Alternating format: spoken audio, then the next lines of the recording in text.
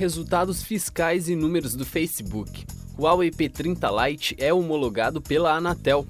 Samsung deve lançar Galaxy Note com 5G. Protesto de motoristas pode marcar oferta de IPO da Uber. E estes são os destaques do Canal Tech News, que começa agora. E aí galera, tudo certo? Na última terça-feira, dia 23, durante uma reunião com investidores, o CEO da Verizon, o Hans Vestberg, sugeriu que a Samsung lançará ainda neste ano uma versão do Galaxy Note com suporte à tecnologia 5G, assim como aconteceu com o Galaxy S10 5G.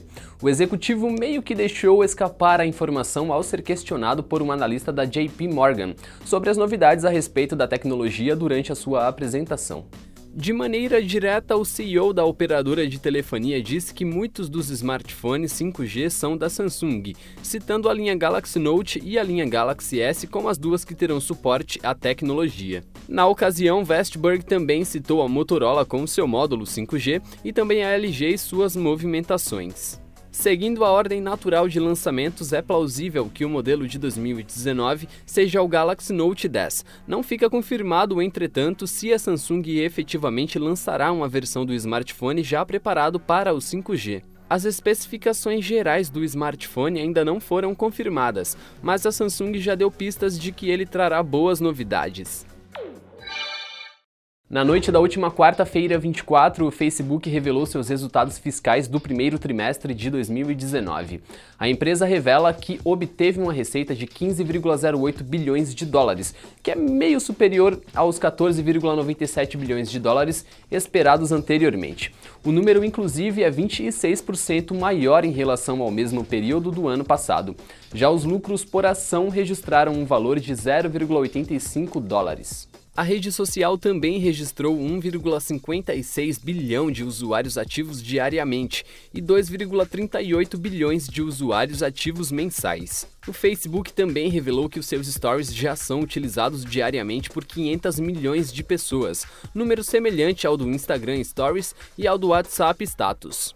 Apesar desses números animadores, o Facebook ainda pode enfrentar uma multa de 3 a 5 bilhões de dólares da Comissão Federal de Comércio, ou FTC, algo que ainda está em negociação. Paralelamente, a maior penalidade aplicada pelo órgão norte-americano até hoje foi de 22,5 milhões de dólares que foram pagos pelo Google em 2012. A Huawei se prepara para no dia 30 de abril anunciar oficialmente a sua volta ao Brasil e também o lançamento de smartphones da linha P30. Como citado anteriormente, também vai ter um P30 Lite para o mercado brasileiro, que inclusive foi recentemente certificado pela Agência Nacional de Telecomunicações. A homologação já abre as portas para que o smartphone possa ser comercializado por aqui.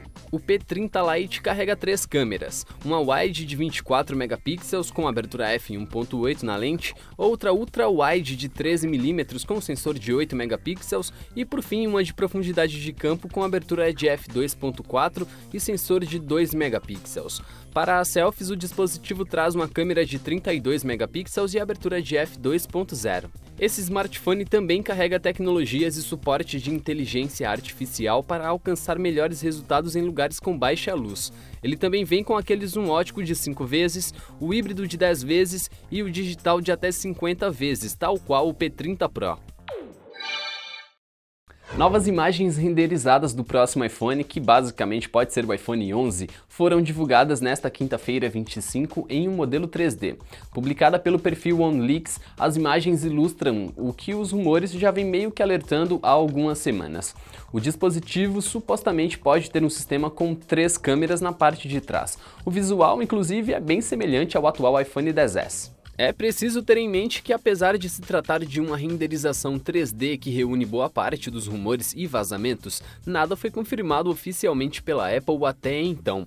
Dito isto, o modelo 3D desse suposto iPhone 11 aponta a espessura de 7.8 mm e também aquele tal espaço com três câmeras na parte traseira. De acordo com informações do site iPhone Hacks, a Apple deve usar um sensor da Sony entre as suas câmeras. A propósito, também é possível reconhecer que o suposto smartphone manterá o Note dedicado aos sensores do Face ID. Rumores também apontam que o próximo iPhone chegará com aquela tecnologia de carregamento reverso por indução, além de uma tampa de vidro fosco na traseira. No dia 8 de maio, a Uber deverá oferecer a sua oferta pública inicial, também conhecida por IPO, lá na Bolsa de Nova York. Mas, paralelamente, motoristas da plataforma em sete grandes cidades dos Estados Unidos planejam uma greve. Os representantes da greve alegam que a empresa vem encolhendo seus pagamentos, além de não oferecer benefícios ou segurança no trabalho. Os motoristas também acusam a Uber de faltar com transparência. A greve vem sendo organizada por grupos online de motoristas. Até agora foram confirmadas paralisações deles nas cidades de São Francisco, San Diego, Los Angeles, Chicago, Minneapolis Filadélfia e Washington. O protesto, segundo informações, deve durar por 12 horas. Ao site Gizmodo, um dos motoristas da plataforma e organizadores do protesto cita que em São Francisco eles trabalham pelo menos 70 a 80 horas semanais para conseguir uma boa renda. A Uber não respondeu a pedidos de comentário ou se reuniu com os organizadores da greve. A empresa espera arrecadar cerca de 10 bilhões de dólares em sua oferta inicial.